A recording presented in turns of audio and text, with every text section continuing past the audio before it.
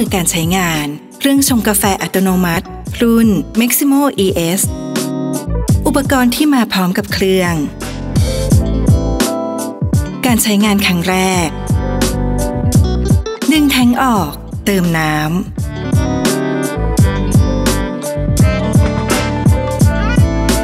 ำเสียบปลั๊กไฟ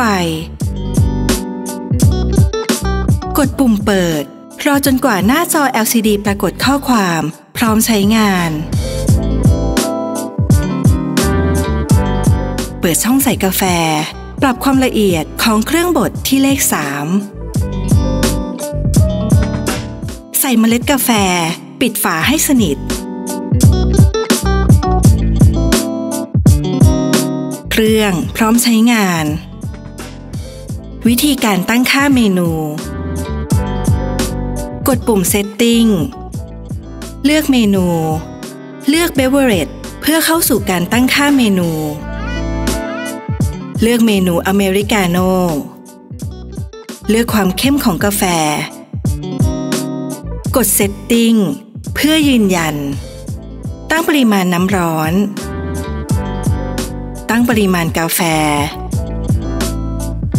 กดปุ่ม Setting เพื่อยืนยัน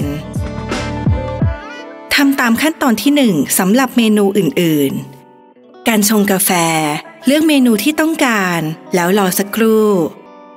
เครื่องจะทำเมนูตามที่ตั้งค่าไว้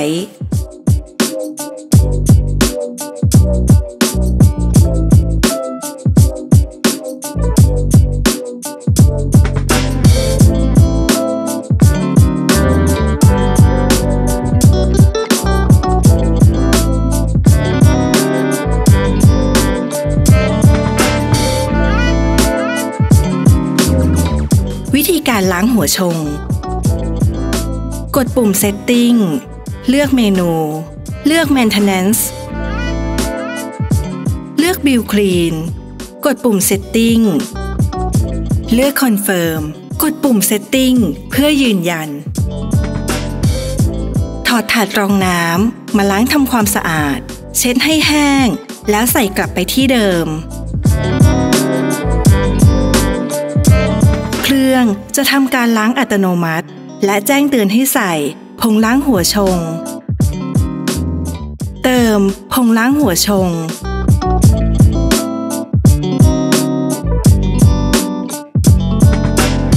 ใช้เวลาล้างหัวชงประมาณ 20 นาที เพื่อขจัดสารตกค้างออกให้หมดทำการล้างอีกครั้งด้วยน้ำสะอาด วิธีการล้างตะกรัน สมผงล้างตะกันกับน้ำอุ่น คนให้ละลาย เทลงไปในแทงน้ำ กดปุ่ม Setting เลือกเมนู เลือก Maintenance เลือก Descale กดปุ่ม Setting เพื่อเริ่มการล้าง ถอดถาดรองน้ำมาล้างทำความสะอาด เช็ดให้แห้ง แล้วใส่กลับไปที่เดิม เครื่องจะทำการล้างอัตโนมัติ ใช้เวลาประมาณ 30 นาทีนำแท้งน้ำล้างทำความสะอาด เพื่อขจัดสารตกค้างออกให้หมดทำการล้างอีกครั้งด้วยน้ำสะอาด Maximo ES